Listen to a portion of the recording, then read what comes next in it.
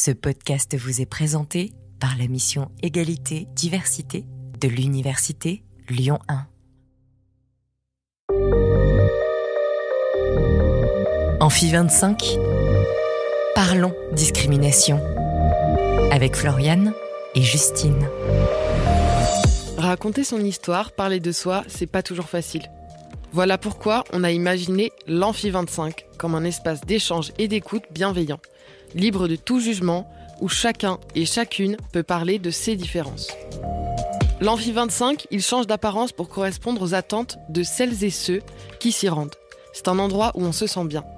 Et on rappelle juste que 25 fait référence aux 25 critères de discrimination reconnus légalement en France. Dans cet épisode, on va parler de transidentité, des parcours de vie de personnes trans et de transphobie. Alors qu'est-ce que ça signifie d'être une personne trans? Ça veut dire qu'on s'identifie dans un genre différent de celui qui est assigné à la naissance. Pour commencer, j'ai rencontré Romain. Romain est un homme trans et il est étudiant en master à l'université Lyon 1. Pour Romain, l'Amphi 25, ce n'est pas forcément un endroit en particulier, c'est juste un endroit où il peut retrouver d'autres gens qui partagent une expérience de vie similaire ou qui comprennent ce qu'il vit en tant que personne trans. Et ce sont ces gens-là qui en font un lieu sûr. Je pense que Romain l'explique beaucoup mieux que moi. On l'écoute.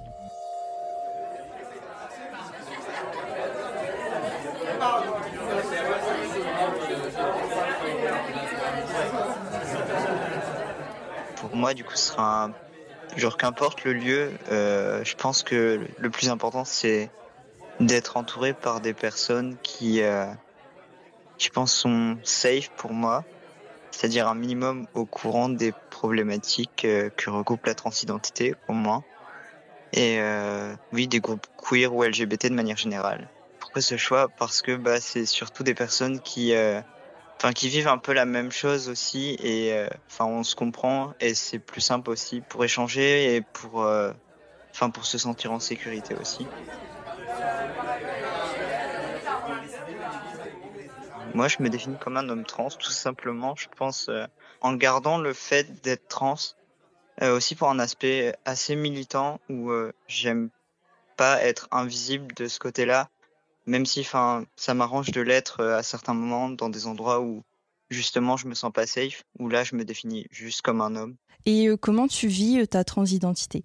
Je le vis assez bien dans le sens où j'ai aussi eu la chance d'être bien entouré tout de suite que ce soit au niveau de ma famille où ça pose pas forcément problème ou avec mes amis où du coup j'ai pas eu forcément de problème à m'intégrer avec ça et je l'ai tout de suite revendiqué très tôt et je l'ai tout de suite pris dans un aspect plutôt militant et engagé plus que ça m'a freiné en fait. Et justement, quand et comment tu as réalisé que tu ne te reconnaissais pas dans le genre qui t'a été assigné à la naissance? Je pense que ça arrivait très vite et très tôt même si forcément j'arrivais pas à mettre des mots dessus. Quand j'étais à l'école primaire, je pense, c'est pas la réalité de toutes les personnes trans, ça je le sais et euh, j'en ai conscience mais euh, moi ça arrivait relativement tôt. Au collège et au lycée, je pense que je suis laissé ça de côté et euh, c'est revenu en première année post-bac où je me connais, je me posais de plus en plus de questions et euh, ça s'est concrétisé à la fin de cette année-là où j'ai commencé à en parler à mes amis. Puis à la fin de la même année, j'en ai parlé à mes parents, donc ça allait relativement vite et euh, Est-ce que tu peux m'expliquer un petit peu ce que tu as ressenti en fait, euh, en- enfin ce que tu ressentais? Euh, ça passait par, euh, par l'école primaire. C'était, c'était bête, mais j'aimais pas les jouets de filles. Euh, j'ai vite euh, été euh, en contradiction avec, euh, enfin notamment avec mes parents quand euh, il fallait mettre des robes, quand on allait euh, dans des mariages ou ce genre de choses, et j'aimais pas ça du tout. Je traînais plus avec des garçons et je voulais être comme eux en fait. Et euh, je sais pas si c'est aussi par le fait que je voyais très bien que les garçons avaient plus de pouvoir et plus de possibilités que les filles. Mais euh, déjà là, je, enfin, j'aurais déjà voulu être un garçon à ce moment-là. Et euh, après, bah, ça passait plus par des phases de questionnement en, en première année euh, post-bac, forcément, où euh, je voyais de plus en plus de personnes trans et je me disais que c'était peut-être ça, que j'étais une personne trans et que tout ça que je ressentais en fait. Et comment tu as préparé ton coming out? Comment je l'ai préparé avec mes amis, enfin les premiers amis à qui je l'ai fait. Dans ce groupe, euh, l'une des deux personnes était aussi une personne trans. Et euh, enfin, du coup, je me sentais déjà en sécurité avec lui et euh, je savais ce que lui avait traversé et que lui pouvait m'aider. Donc, euh, ça passait par des longs moments de questions-réponses avec lui. Et quand j'ai réussi à mettre des mots là-dessus, j'en ai parlé plus facilement à des amis. C'était un peu des occasions saisies où enfin on, m'a signé à des, des choses typiquement féminines et j'étais là bah non, en fait, j'ai pas envie et euh, du coup, je leur disais comme ça, plus ou moins. Et comment tu t'es senti quand tu as euh, pu mettre des mots sur ce que tu ressentais? C'était assez particulier. Je pense qu'il y avait une sorte d'euphorie de genre quand j'ai pu le, enfin, j'ai pu comprendre ce qui m'arrivait et, et, que, enfin, les, les, les amis qui m'entouraient aussi, euh, pour certains et certaines, ça se passait bien et ça allait vite aussi. Ou ils m'appelaient tout de suite par le bon prénom ou euh, ils utilisaient tout, tout, de suite les bons pronoms et euh, je sentais que enfin c'était cool et je me sentais enfin moi-même. Ou outre le fait d'avoir peut-être des amis trans, comment toi tu te renseignes sur ces questions et à quel point c'était important pour toi de, pouvoir t'informer sur ces questions pour construire ta propre identité? Je connaissais surtout essentiellement des personnes trans par les réseaux sociaux au début et euh, il y en a qui sont assez engagés et qui partagent pas mal d'expériences vis-à-vis de leur transidentité. Donc euh, même quand j'étais en phase de questionnement, j'avais toujours ce fil d'actualité en fait euh, sur Twitter notamment où euh, bah je me renseignais sur euh, les transitions ou comment ça se passait ou les démarches administratives ou ce genre de choses. Et quand j'avais des questions plus précises j'hésitais pas non plus à leur envoyer des messages pour comprendre et pour échanger directement avec eux. Et enfin ça m'a permis de voir ce que moi je voulais ce que je voulais pas en voyant par exemple les effets des transitions euh, hormonales, par exemple, ou euh, ce que ça impliquait de faire une transition administrative. Et du coup, moi, ça m'a permis aussi de voir euh, ouais, ce que je voulais vraiment aussi en tant que personne trans ou non. Et pourquoi c'était impératif pour toi de pouvoir t'affirmer dans le genre dans lequel tu t'identifies au lieu de rester dans les contraintes de genre assignées à, la naissance? C'était important pour moi d'être moi-même vis-à-vis de ça et de enfin ouais, de me, sentir bien. Ça prend ouais tellement d'espace et de place euh, dans les interactions avec les gens. Euh. Enfin, il y a qu'à regarder euh, tous les pronoms qui sont genrés, tous les tous les adjectifs ou. Enfin, je me sentais pas forcément à l'aise et. Enfin, c'était ouais important pour moi d'affirmer ça pour que, enfin, que je me sente moi-même de manière quotidienne aussi. j'ai fait mon changement de prénom.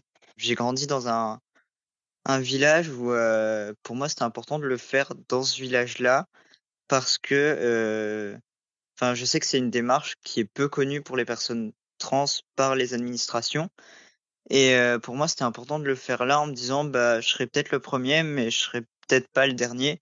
Il a été accepté assez rapidement et pour l'instant j'ai fait que ça au niveau enfin entre guillemets que ça au niveau administratif et après, bon, ça a posé problème forcément au niveau de, de la fac ou euh, ce genre de choses quand les papiers sont pas forcément en adéquation euh, avec, enfin, sont pas tous en adéquation avec le bon prénom. Mais euh, enfin, ça reste quand même assez euphorisant de voir des papiers avec le prénom, enfin le bon prénom et que c'est assez satisfaisant en fait. Alors tu me parlais de ton entourage que tu qualifies de safe. Ça veut dire que pour toi, il y a des gens qui ne seraient, enfin, qui seraient en tout cas moins safe.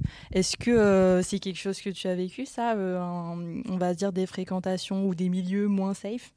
Euh, Oui, ça m'est arrivé, notamment avec des amis de lycée, notamment, qui étaient beaucoup moins au courant que les personnes que je fréquente aujourd'hui, qui qui m'appelait pas par le bon prénom ou qui n'hésitait pas à dire mon ancien prénom devant des personnes qu'il connaissait pas ou qui essayaient de me enfin de me reprendre quand moi je les corrigeais ou euh, ouais ce genre de choses quand euh, ils me joueraient euh, au féminin et que je les reprenais pour me jouer au masculin ou il y a tout un pan de l'identité qui est nié par enfin par des amis en fait et ouais forcément c'est blessant ce serait quoi pour toi la transphobie? Ce serait euh, bah, tout ce qui est discrimination euh, des personnes trans, mais aussi euh, invisibilisation, parce qu'il y a aussi de ça où euh, on connaît pas le enfin c'est très rare les personnes qui savent en dehors de, de ces milieux-là euh, ce qui est vraiment euh, la transidentité, ce qui ce que ça engendre aussi, ce que ça recoupe dans un système où tout est binaire euh, en fonction du genre. Et donc, est-ce que tu as déjà fait l'expérience de près ou de loin de ce qu'on pourrait qualifier de transphobie? Euh, oui, rien que ce qui s'est passé avec mes amis de lycée, pour moi, c'en était où euh, on nie ouais totalement le le parcours et l'identité de l'individu. Et sinon, oui, j'en ai fait l'expérience de manière générale. Enfin, j'ai eu la chance entre guillemets de pas connaître des de la transphobie plus violente que le fait d'être euh, mégenré, donc d'être genré euh, dans le, le, le sexe assigné, enfin le genre assigné à la naissance et pas euh, dans, dans le genre dans lequel on se reconnaît. Mais sinon, ouais, j'ai eu relativement de chance comparé à d'autres personnes trans. Euh, Est-ce qu'il y a des hommes ou des femmes trans célèbres ou en tout cas médiatisés qui t'inspirent? Euh, je pense aux, aux sœurs. Alors, je sais jamais comment prononcer leur nom. Les sœurs Wachowski. Matrix Oui, voilà.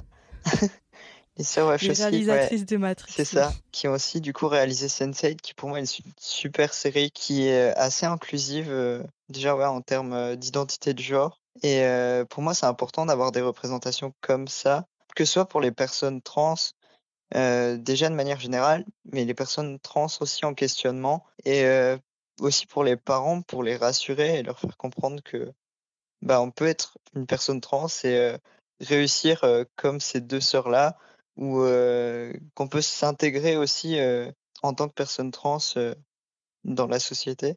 Et qu'est-ce que tu penses de la manière justement dont sont représentées les personnes trans dans les médias et le divertissement? Pour moi, il y a encore trop de mauvaises représentations où, euh, enfin, où les personnes trans euh, déjà sont limitées à la figure de, de la femme trans la plupart du temps, mais aussi enfin de, de personnes trans comme on l'entendait, euh, je sais pas moi, dans les années 50 où euh, enfin c'est vraiment ouais, la femme trans qui en plus dont l'image se, se rapproche de, de la personne travestie et euh, enfin voilà, c'est pas c'est pas juste dommage, c'est c'est juste ça fait peur et c'est pas inclusif du tout et euh, je pense que ça donne pas une bonne image euh, de ce qu'est la transidentité aujourd'hui, même enfin aujourd'hui ou demain ou hier. Tu m'avais dit, enfin moi je t'avais demandé euh, si on pouvait parler euh, de la réaction euh, de ton entourage ou de tes proches et tu m'avais dit que pour toi c'était pas forcément intéressant de parler des autres, plutôt de parler de toi-même. Est-ce que tu pourrais me dire Développer. Ouais. En fait, typiquement là dans il y a Petite fille où le reportage traite essentiellement de de la réaction de de l'entourage et notamment de la mère et du parcours de la mère en tant que parent.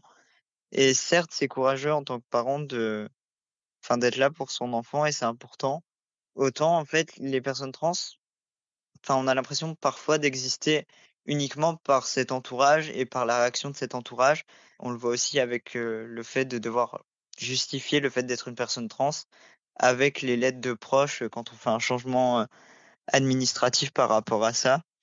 Et en fait, ouais, on a parfois pas l'impression d'exister en tant qu'individu, mais juste par rapport à la réaction de nos proches. Et, euh, et c'est ces proches-là qu'on félicite euh, d'être courageux, entre guillemets, de nous soutenir euh, dans le parcours de transition et enfin de, de, enfin, de croire aussi que ce sont ces personnes-là qui, qui endurent le plus de violence, de discrimination, alors que pas du tout. Qu'est-ce que tu aimerais dire aux gens qui ne reconnaissent pas les personnes trans pour ce qu'elles sont, c'est-à-dire dans le genre dans lequel elles s'identifient?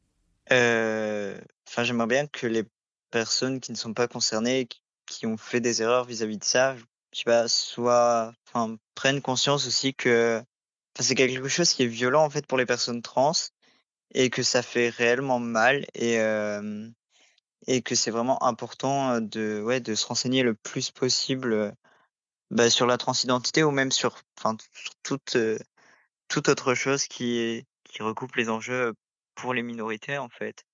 Est-ce que ça t'est déjà arrivé que les gens euh, soient maladroits ou mal à l'aise en parlant avec toi au sujet de de la transidentité? Ça arrive.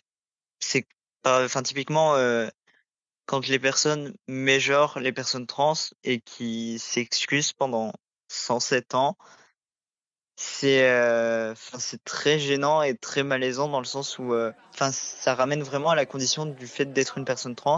Et autant je veux être visible en tant que personne trans autant je veux pas être visible que pour ça euh, notamment dans une conversation où ça n'a pas sa place forcément.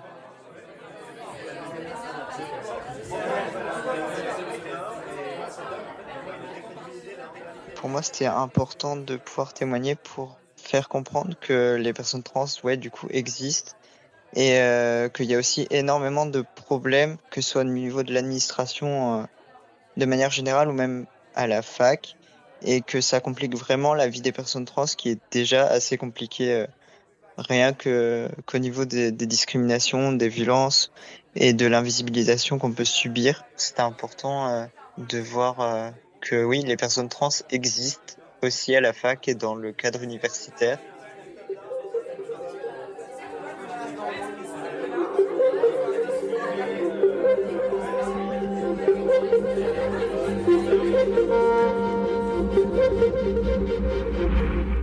Vous avez parlé de quoi? Raconte-moi. Bah, tu sais, j'avais une petite appréhension à l'idée de faire cette interview parce que j'avais peur d'être maladroite. Par exemple, quand Romain acceptait de témoigner dans ce podcast, je lui ai demandé si c'était OK de parler de la réaction de son entourage, sachant que ça peut être un sujet sensible. C'est vrai que ça peut être vite intrusif. Du coup, on devrait arrêter de poser ce genre de questions. Romain, il m'a dit que ça le dérangeait pas parce que son entourage a plutôt bien réagi, mais il m'a dit que ce serait mieux de laisser les personnes trans parler d'elles-mêmes et de ce qu'elles vivent plutôt que de ramener leur expérience à ce qu'en pensent les autres. Romain a aussi beaucoup insisté sur l'importance d'être entouré de personnes safe, c'est-à-dire sensibilisées aux questions d'identité de genre. C'est valable à tous les niveaux de la société. Ça peut être déterminant, par exemple, de pouvoir consulter des médecins qui sont informés sur la transidentité. Pour parler de transidentité, de discrimination et aussi des comportements et attitudes safe, on est allé voir Karine Espinera et Adriane Debord. Karine Espinera est sociologue au laboratoire d'études de genre et sexualité, rattaché à l'université Paris 8. Ses recherches portent sur la transidentité, les personnes transgenres et les représentations et les constructions médiatiques. Adriane Debord est bénévole, formateur et conférencier pour Chrysalide, une association lyonnaise militante de support et de diffusion d'informations sur les transidentités. Chrysalide a récemment publié un guide pratique à l'usage des personnes trans intitulé Réagir face à la transphobie. Déjà, c'est quoi la transidentité? Ah, la transidentité. Transidentité, c'est difficile. Hein ce que je dis souvent, c'est que c'est une grande difficulté que de définir, euh, parce que les définitions, du coup, elles créent des catégories. Les catégories sont clivantes. Alors, pour euh, parler de la transidentité, je dirais que la transidentité, c'est une sorte de terme parapluie qui va regrouper euh, différents euh, différents profils de, de personnes trans.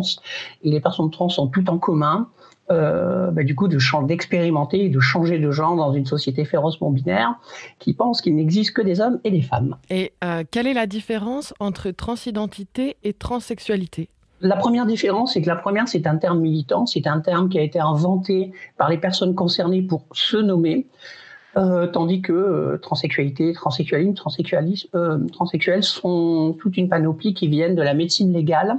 Euh, ça remonte à peu près au début du XXe siècle, donc avec Magnus Hirschfeld en 1927, il avait inventé le mot de transsexualismus.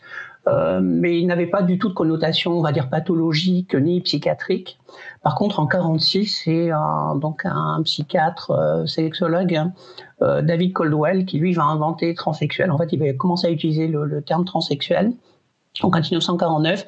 Et là, il, il, y met, il y met une charge. Hein. Donc là, on va commencer à parler de psychose, etc., de maladie mentale. Et donc le terme va se populariser. Donc euh, toute cette panoplie, donc euh, je disais tout à l'heure, trans, transsexualisme, transsexualité, transsexuel va se populariser dès les années 50 et 60 avec l'endocrinologie, la sexologie, la psychiatrie américaine. Donc euh, alors que transidentité, c'est un terme qui nous vient des années 2000. Au départ, donc, il vient d'une sociologue qui s'appelle Heike Bodecker, et le terme a été euh, traduit, enfin en tout cas introduit en France euh, dans la première partie des années 2000.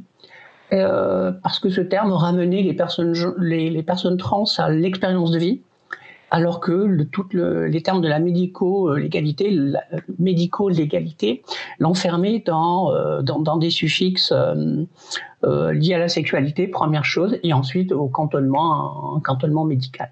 Et la différence entre transgenre et cisgenre? Euh, ben on va dire c'est exactement comme entre, hétérosexuel et homosexuel, c'est la même chose. Voilà, c'est-à-dire que euh, cisgenre désigne la, la coïncidence sexe-genre, donc ce sont des personnes non trans. Voilà, pour faire au plus court et au plus simple, c'est des personnes non trans. Alors que pour les personnes trans, euh, à un moment donné de l'existence, il y a une non coïncidence entre le sexe et le genre et les personnes trans justement. On va dire rectifie, euh, voilà, rectifie le tir et, euh, et donc il faut une expérience de vie spécifique avec plus ou moins d'appels à, des techniques chirurgicales, mais pas forcément. Hein, ça, c'est il faut, faut qu'on soit clair là-dessus. Et euh, bah, du coup, pour mettre en conformité, on va dire leur, euh, leur corps et, leur genre. Et vous parliez de catégorisation. Euh, est-ce qu'en utilisant tous ces termes, il n'y a pas un risque de justement catégoriser les gens? Ça a été le cas au début. C'est-à-dire dans les années 2000, par exemple, on a opposé, donc d'un côté, il y avait les termes de la médecine légale, qui ont commencé à être combattus par, euh, par les militants, les militantes, les associations ont commencé à les rejeter. Effectivement, il y avait une charge pathologique qui était extrêmement forte. Ensuite, les deux autres termes qui sont rentrés en concurrence, enfin en concurrence, oui, euh, transgenre et transsexuel au départ, et on a créé une catégorie où, euh, au départ, on estime que, par exemple, les transgenres sont des personnes qui ne seraient pas opérées, et les transsexuels seraient des personnes qui seraient opérées.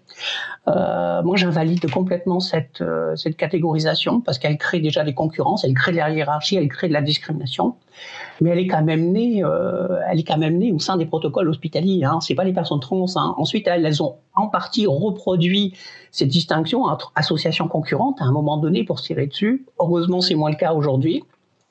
Euh, donc globalement, maintenant, euh, la question se pose beaucoup moins, puisque transidentité, transgenre ont pris des sens plutôt, euh, je disais tout à l'heure, des thèmes parapluies.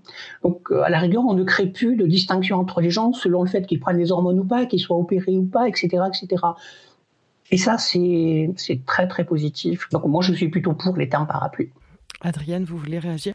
J'aurais quand même à rajouter qu'aujourd'hui, euh, on voit cette distinction être de nouveau revendiquée par un courant euh, relativement minoritaire, mais euh, assez présent sur les réseaux sociaux, de personnes qui justement cherchent à remettre en cause le terme de transidentité et remettre en cause le vocable d'identité pour justement ne, ne centrer leur réflexion que sur une expérience, sans donc réfléchir à la question d'un vécu interne en termes d'identité et qui revendique le terme de transsexuel de nouveau euh, pour euh, une approche qui serait, entre guillemets, celle euh, des personnes trans, à distinguer du coup de personnes qui n'auraient pas fait telle et telle démarche et qui du coup seraient moins légitimes à se qualifier de personnes trans, en particulier donc ça cible les personnes non binaires. Et et donc, je ne connaissais pas, moi, l'apparition du terme transidentité, mais je trouve ça d'autant plus intéressant euh, de, réaliser que, effectivement, c'est un terme endogène qui a été produit par notre communauté versus des termes médicaux et qu'il y a encore, en fait, des enjeux internes de distinction, hein, on ne peut pas le nommer autrement, euh, via la reprise de termes médicaux qui sont, en fait, euh, les termes de la domination. Donc, euh, donc c'est quelque chose dont on n'est malheureusement pas encore tout à fait sorti et qu'il faut réfléchir euh, comme ça. Comment les, les personnes trans vivent-elles leur transidentité avant et après leur transition? Ça va dépendre bien sûr des personnes. Euh, il, y a, il y a autant de transidentité que de personnes en, réalité. Euh, on, se rend bien compte, et, là je, vous renvoie aux recherches de Karine, que dans les médias, en fait, il y a, il y a un discours presque euh, unique, enfin, en tout cas extrêmement homogène, hein, sur ce que sont les personnes trans, sur le vécu des personnes trans, etc., qui n'est pas du tout du tout représentatif d'une réalité de terrain et qui, qui est même en, décalage puisque donc euh, avant de bien sûr être formateur et, de faire des conférences pour Crédit, je suis avant tout bénévole et accueillant, c'est-à-dire que on organise des, des permanences d'écoute et de dialogue avec euh, les personnes. Et donc ça fait plusieurs années que je j'accueille les personnes en questionnement, que je les accompagne un petit peu là-dedans. Et, et, donc par exemple cette idée que euh, la transidentité se découvre nécessairement dans la petite enfance, qui est en fait une, idée qui sert à reproduire une forme d'essentialisation de genre. Et d'une essentialisation qui, à la rigueur, ne serait plus euh, biologique en termes de, de, sexe, mais qui serait euh, psychologique, euh, n'est pas du tout représentative de la réalité de personnes qui, en réalité, se découvrent à tous les âges de la vie, mais plus souvent, par exemple, à l'adolescence ou, à l'âge de, de, jeune adulte. et donc, l'expérience de, de, la transidentité des personnes va être marqué par l'accès à l'information, de est-ce que les personnes vont avoir accès à une information riche, ou alors est-ce que au contraire ce sera une information qui sera stéréotypée et négative. Hein. On se rend bien compte que, encore une fois, il y a ce qu'on appelle la transmisogynie, la, misogynie qui cible en particulier les femmes trans et qui les cible dans des représentations médiatiques qui les ridiculisent ou qui les criminalisent, en particulier avec une invisibilisation des personnes transmasculines, et, euh, ensuite de leur entourage euh, au moment de leur transition, puisque ce qui en fait, est le plus impactant euh, dans la transition euh, d'une euh, d'une personne trans et dans son vécu de cette transition, ça va être la transphobie. À, mon sens, en tout cas, en tant qu'accueillant, de en quelle manière cette transphobie-là et l'insécurité, en fait, que peut créer cette transphobie va lui permettre ou non de vivre euh, d'une manière positive et pleinement positive euh, sa transition, alors qu'une transition en soi, c'est un événement heureux pour les personnes. Donc euh, voilà, je dirais qu'il y en a autant de transitions que de personnes, et que ce qui a à réfléchir, c'est l'environnement au sein duquel la personne peut enfin exister. Du coup, quelle différence on peut observer entre les parcours d'hommes trans et, les parcours de femmes trans au niveau des stéréotypes ou des discriminations dont ces personnes peuvent être victimes? Euh, après, moi, je, parle en tant que personne transmasculine, donc euh, ma, voix n'a pas à prendre la place des personnes transféminines, mais euh, on se rend compte qu'il y a de fait donc ce que j'appelais, enfin ce qu'on appelle la transmisogynie, hein, euh, qui cible en particulier donc les femmes trans, et que la transphobie va, par exemple, dans l'espace public, être fonction de la visibilité de la personne et de la façon dont on pourra ou non l'identifier comme trans. Dans ce sens, la, visibilisation euh, des personnes trans peut être parfois à double tranchant. C'est-à-dire que certes, on est enfin euh, connu et reconnu. Par, contre, le risque plus important d'être identifié dans l'espace public, euh, en tant que personne trans, j'entends, peut créer donc euh, plus de, discrimination. Et là, si on réfléchit donc à la question du coup des femmes trans et des, hommes trans, sachant que je préfère les termes personnes trans féminines et transmasculines pour inclure les personnes non binaires, mais c'est un détail, on se rend compte que de fait, les personnes transféminines sont plus souvent identifiées dans l'espace public et plus souvent agressées dans l'espace public. Avec, donc, il faut se rendre compte que les premières victimes de la transphobie sont les femmes trans racisées. Hein. Vraiment, c'est sans appel. En tant que personne transmasculine, on est surtout considéré comme non existante. On n'est pas euh, pris au sérieux, je ne peux pas le nommer autrement. Et, donc, euh, et donc, c'est pas tout à fait les mêmes enjeux de, de revendication de, de soi en termes de représentation. Il faut abolir ces représentations euh, négatives, euh, ridiculisantes, etc. Enfin, c'est euh, S'il n'y avait pas de normes de genre ou de stéréotypes de genre, est-ce que la transidentité existerait? Oui, je pense qu'elle existerait elle existerait parce qu'elle serait, disons, plus facile. L'expérience de vie, en tout cas en tant que, que, que, personne trans, masculine ou féminine, elle serait beaucoup plus facile, justement. Euh, elle obligerait moins, il y aurait moins d'injonctions au passing. Alors le passing, c'est pas se faire détecter comme personne trans dans l'espace public, notamment sous peine évidemment de vivre la transphobie et des violences, et comme ça vient très très bien d'être expliqué. Euh, ça faciliterait les transitions, ça obligerait moins aussi les personnes à devoir adhérer aux normes, à devoir adhérer aux stéréotypes de genre. Parce que, étonnamment, euh, si on regarde un petit peu l'actualité de cette dernière année, mais pas que, euh, d'un côté, on souhaite que les personnes trans elles adhèrent au maximum, c'est-à-dire s'insèrent socialement, qu'elles soient des hommes et des femmes comme les autres. Et, euh, et, quand elles le font, on les accuse de renforcer les stéréotypes de genre. Donc là, je pense que là, quelque part, il faudrait peut-être se mettre d'accord, hein, savoir qu'est-ce qu'on demande aux personnes trans. Donc, et c'est compliqué euh, d'être une personne trans dans une telle société où d'un côté on, il y a des injonctions et on doit répondre à ces injonctions, notamment dans les protocoles hospitaliers. Et d'un autre côté, si on est trop subversif, on est trop loin euh, des, des, normes de genre, alors dans ce cas-là, on est euh, soit taxé de faux trans, hein, entre guillemets, mais il n'y a pas que, il y a d'autres noms de, de ce type-là qui, qui courent.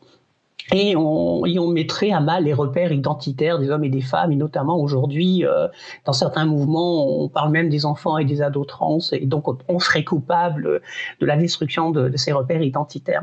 Donc j'ai envie de dire une société euh, moins binaire, une société euh, qui serait moins normée, bah, elle laisserait de la place à toutes ces expressions aujourd'hui de, genre, à tout, à tout ce continuum des transidentités, qui auraient des, des, vies bien meilleures. Et je pense que les hommes et les femmes qui se sentent bien en tant qu'hommes et femmes, euh, ben, peut-être qu'un certain nombre juste d'hommes et de femmes pourraient expérimenter d'autres types de masculinité, de féminité, sans elles être, euh, sans qu'elles subissent elles aussi des, euh, des sanctions de franchissement de genre.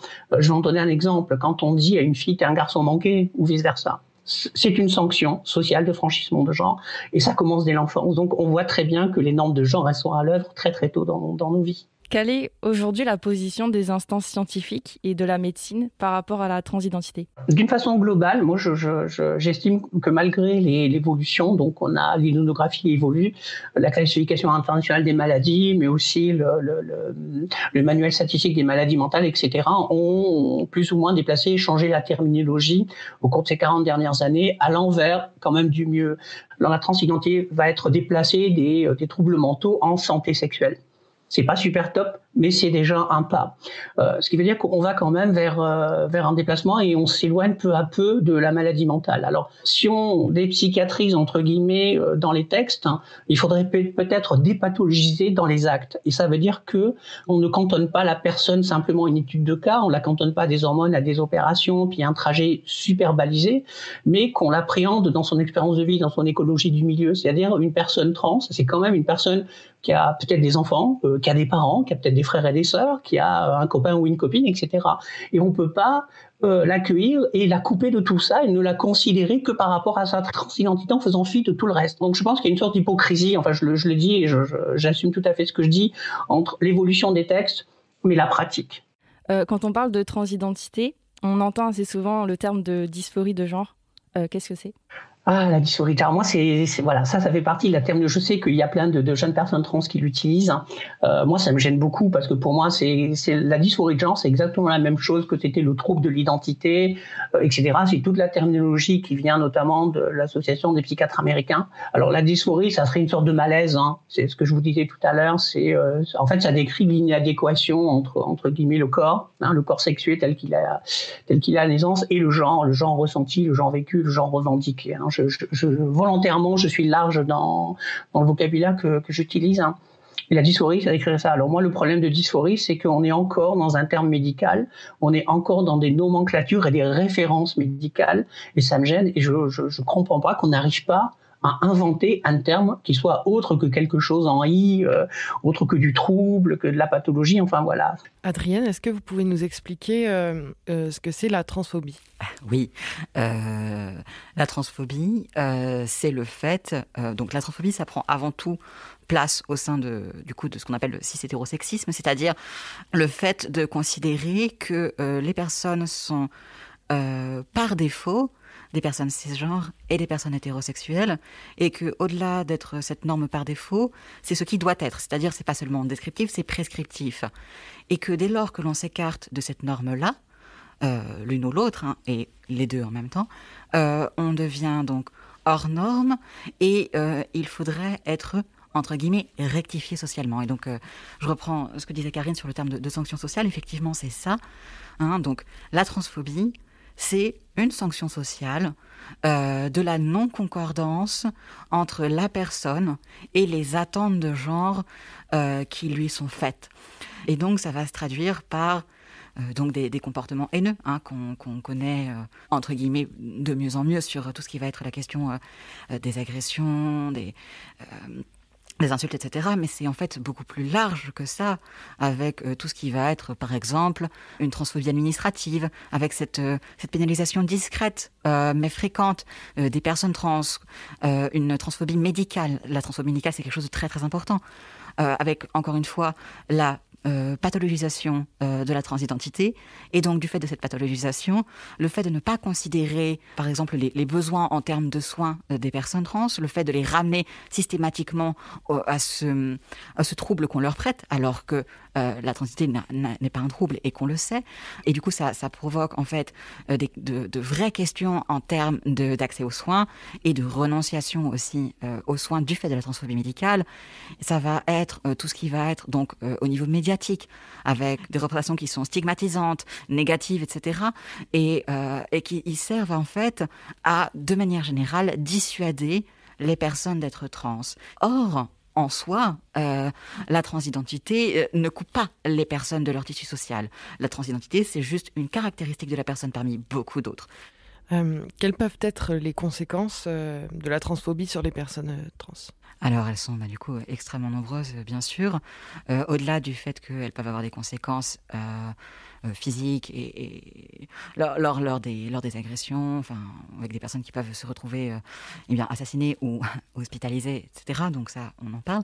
la transphobie, entre guillemets, discrète, qui peut exister au niveau administratif ou juridique, va avoir des conséquences, par exemple, en termes de précarisation des personnes, en termes euh, de euh, facilité à réaliser des démarches qui sont des démarches nécessaires. Euh, la transphobie médicale, donc c'est ce que je disais sur la, la, question de la renonciation aux soins et, du coup la, difficulté dans certains cas d'accès aux soins. Par exemple, des, médecins qui refusent de genrer correctement une personne trans ne lui permettent pas en fait tout simplement d'être reçu. Mais euh, il faut aussi en fait euh, parler en termes de, santé mentale, mais de la même manière que beaucoup d'autres d'autres minorités. Hein. Le vécu euh, régulier de la violence sociale a forcément à long terme des impacts et donc le fait d'être exposé de manière répétée à la transphobie peut par exemple avoir des conséquences en termes d'anxiété, en termes de dépression, etc. Donc en fait, il y a un enjeu de santé publique hein, dans euh, la prise en compte de la transphobie et dans le fait que cette transphobie ne devrait plus exister et qu'il y a une action, des actions à entreprendre en ce sens. Et euh, aussi, quelque chose qui est très important à, réfléchir, c'est la transphobie intériorisée. Encore une fois, qui est quelque chose que vivent beaucoup de, personnes minorisées, hein, l'intériorisation euh, du coup des stigmates négatifs à, leur encontre, mais, mais qui, fait, qui font que on ne on n'autorise pas en fait aux, personnes trans d'être fières d'elles-mêmes. On, ne leur autorise pas euh, d'être fières d'être trans euh, également. Et donc là-dedans, en fait, euh, on apprend aux personnes trans qu'elles sont nécessairement inférieures, qu'elles sont nécessairement moins valides, moins légitimes en fait dans leur genre et dans leurs existences. Et donc les conséquences de la transphobie sont, sont extrêmement nombreuses. Et la transphobie n'est pas pénalisante que pour les personnes trans. En réalité, elle est pénalisante pour l'ensemble de la société puisque justement, elle est cette euh, de euh, la non-concordance à des normes qui sont des stéréotypes de genre, elle est l'interdiction de l'exploration du genre, euh, ce à quoi chaque personne devrait avoir droit en fait. Chaque personne devrait avoir la possibilité d'expérimenter en termes d'expression de genre, en termes de, recherche de soi, etc. Et simplement laisser cette liberté-là va à l'encontre d'une certaine norme sociale qui est donc celle d'une société cis hétéropatriarcale. Euh, Karine, est-ce que vous pouvez euh, nous parler un petit peu des préjugés, des stéréotypes qui affectent le plus les personnes trans dans notre société aujourd'hui? Voilà, la question est vaste. D'une certaine façon, la réponse, elle est impossible. Hein. Elle est impossible dans le sens que, ben voilà, j'ai envie de dire, la seule chose que je pourrais éventuellement, qui pourrait servir d'amorce de réponse, c'est la binarité, ce sont nos sociétés binaires. Et l'ordre des genres, et du coup les expressions, hein, ce qu'on appelle les, sex roles, hein, ça veut dire le, rôle qu'on donne aux hommes et aux femmes. Il y a tout un tas de normes vestimentaires, comportementales, etc., hein, qui correspondent à, chaque, à chaque rôle. Et, euh, ces rôles-là, en général, sont mis de façon oppositionnelle. Et en plus de ça, dans les sociétés patriarcales, hiérarchiques. Donc on oppose les hommes et les femmes, et puis hop, on met les hommes en haut, et les femmes en bas. Euh, il est là le problème. Et, euh, et d'autant plus que c'est vivre dans une société comme ça qui ne s'interroge pas, qui n'interroge pas ses normes, qui se refuse d'évoluer. Parce qu'il y a des sociétés qui le font, et on le voit aujourd'hui avec les mouvements conservateurs, c'est le symptôme de, qu'une partie de la société ne veut pas changer, ne veut pas évoluer, ne veut pas intégrer la diversité, etc. Et ces gens-là se sentent en danger et du coup, se sentent en danger, développent une propension à la violence, euh, qu'elle soit verbale, physique, et, etc. Ce qui est un peu, euh, franchement, c'est inadmissible d'un point de vue juste humain. pour moi, le, problème, c'est cette société binaire parce que elle tue à petit feu d'une certaine façon. Hein. On a une résilience, on a tous un, quota de résilience euh, qui est plus ou moins élevé selon les, personnes. Et, au cours de, bah, de, notre existence, justement, ces oppressions de, de, de genre, bah, elles vont user hein, ce, capital, ce capital de, résilience. Et euh, bah, vous allez y résister plus ou moins bien selon vos conditions de vie. Euh, quelle est l'importance des mouvements militants LGBT+ dans les parcours des personnes trans? Pour comprendre le, processus, faut quand même là, là, il faut avoir, euh, il faut reculer un petit peu historiquement. Et euh, je, vais essayer de le faire très très rapidement, mais je vais prendre l'exemple des États-Unis et de la France parce que du coup, ils sont, sont très parlants dans quelque part dans leur opposition, d'une certaine façon. Euh, aux États-Unis, le mouvement trans, il va, il naît en fait dès, dès 67 avec les émeutes de la, la cafétéria Compton à San Francisco. Il y a un documentaire de Sutton Striker euh, qui s'appelle Screaming Queens que je vous recommande. On peut le trouver sur sur internet en libre de droit. Euh, ensuite, il y a les émeutes de Stonewall en 69. Là encore, les, personnes trans avaient un rôle, un rôle majeur. Et ça inscrit immédiatement une sorte de politisation hein, des, euh, des, personnes trans, et notamment avec l'association de Sylvia Rivera et de, de Martha, euh, Marsha P. Johnson, qui avait fondé donc une association STAR où notamment il y avait beaucoup de personnes trans euh, racisées. Euh, mais euh, l'association était déjà politisée, c'est-à-dire qu'elle s'engageait auprès des gays et des lesbiennes, mais aussi pour les droits civiques. elle s'engageait aussi auprès des, des luttes féministes. Donc déjà, le, les, groupes trans, en tout cas les, personnes trans cette période-là, élargissent leur champ de lutte, c'est-à-dire ne luttent pas que pour elles-mêmes, elles s'inscrivent au sein d'un mouvement. Euh, en France, on va pas du tout connaître ce phénomène-là. En 70, donc il y a le phare, donc le, front homosexuel de libération qui se met en place, mais euh, de ce front euh, du phare ne, ne, va naître aucune association trans politisée. Donc là, si on est en 70, les premières associations transpolitisées, on va les voir que euh, dans la première moitié des années 2000, donc avec euh, notamment, entre autres, hein, donc euh, Support Transgenre Strasbourg, le groupe Activiste Trans. Donc quand on voit, il se passe quand même beaucoup de temps. Hein, il, se, il se passe pas loin d'un demi-siècle. En tout cas, il se passe 40 ans entre les, les les deux mouvements. Et c'est seulement euh, au cours de ces années, des années 2000, que les personnes trans commencent à s'inclure dans ce qu'on appelle le, euh, le, mouvement euh, LGBT au départ, hein, qui était LG, puis on a rajouté le B, puis le T, etc., etc. Au fur et à mesure des, des mouvements, mais d'une certaine façon, ça a permis une sorte de professionnalisation des associations trans, etc., qui ont importé des savoir-faire des autres luttes et des, autres, des autres questions. Mais d'un autre côté, il a fallu aussi réagir exister par nous-mêmes. Alors, je vais raconter rapidement l'anecdote de l'existence. Donc, c'est la marche annuelle des, des, trans qui a lieu à Paris depuis 97. À l'époque, donc, moi et Maudieuse, euh, avec Tom Rocher, euh, donc Tom, en fait, nous, nous déléguait les, euh, les réunions euh, pour l'organisation de la Gay Pride, c'est à Paris. Et on voyait très bien que pour la, majorité des gens qui étaient là, bon, on était alliés, en tout cas sur le papier, mais que en aparté ou lors des réunions, on nous disait que nos identités c'était compliqué, que nos luttes c'était compliqué, que les relations interassociatives c'était compliqué. Enfin, les personnes trans c'est toujours très très compliqué, trop compliqué.